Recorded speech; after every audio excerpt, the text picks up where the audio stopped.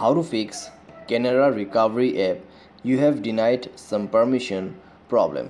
नमस्कार दोस्तों, स्वागत है आप सभी का तिकराज यूट्यूब चैनल पर। तो दोस्तों, जब हम कैनरा रिकवरी ऐप को ओपन करने जाते हैं, तब दोस्तों हमें ये एरर देखने को मिल जाते हैं। तो दोस्तों, ये जो एरर है, किस वजह से आ रहा है, कैसे आपका प्रॉब्लम सॉल्व होगा, यही मैं आपको इस वीडियो में बताने वाला हूँ। ठीक है? दोस्तों वीडियो को अंत तक देखिए जो भी सॉल्यूशन है, उसको फॉलो कीजिए। क्योंकि दोस्तों, इसका सॉल्यूशन काफ़ी ज़्यादा आसान है और आप भी इसको एक ही बार में फिक्स कर पाओगे। ठीक है? तो यहाँ पे दोस्तों ये लिखा हुआ है कि आपने कोई परमिशन को डिनाइड किया हुआ है तो उसको अलाउ करना पड़ेगा। तो कैसे करना है? आइए देख लेते हैं। लेकिन दोस्तों, यहाँ पे वीडियो शुरू करने से पहले मेक श्योर sure आप चैनल को सब्सक्राइब करते हुए बेल आइकन को क्लिक करें। अगर आप ऑनलाइन पैसा कमाना चाहते हैं तो दोस्तों वीडियो डिस्क्रिप्शन पर आपको लिंक मिल जाएगा। किसी भी प्रॉब्लम के रिगार्डिंग पर आप हमें ट्विटर पे फॉलो करके मैसेज कर सकते हैं। चलिए वीडियो शुरू करते हैं। यहाँ पे दोस्तों आपको दिखाई दे रहा होगा ओके बटन, ठीक है? तो आपको ओके बटन पे क्लिक करना है। तो आपको डायरेक्टली लेके जाएगा आपके परमिशन पे।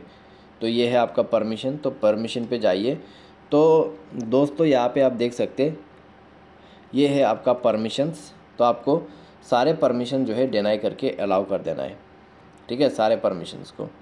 तो डिनाई करके अलाउ करते जाइए। और उसके बाद दोस्तों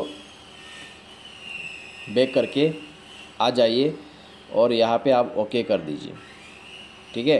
तो दोबारा से बैक कीजिए। अभी दोस्तों, देख सकते ये जो एरर है आपको दोबारा से नहीं आ रहा है। तो आप दोस्तों, यहाँ पे मोबाइल नंबर ऐड करें। ठीक है?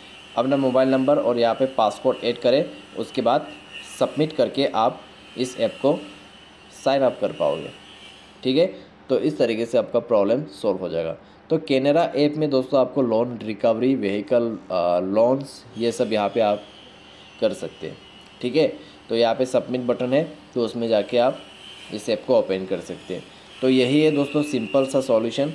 आपको बस परमिशंस अलाउ कर देना होता है और आपका प्रॉब्लम सॉल्व दोस्तों उम्मीद करते हैं आपको वीडियो पसंद आया होगा। Thanks for watching